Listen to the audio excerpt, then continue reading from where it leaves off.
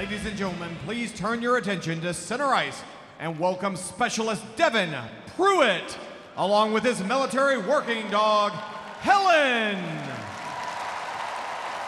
They have supported Fort Bragg through working countless hours of law enforcement, having continuously strengthened their bond, faith, and trust in one another as a team through rigorous training. At this time, would Predators Captain Roman Josi and Hurricanes Captain Justin Williams please join Specialist Pruett and Helen at center ice for a ceremonial face-off.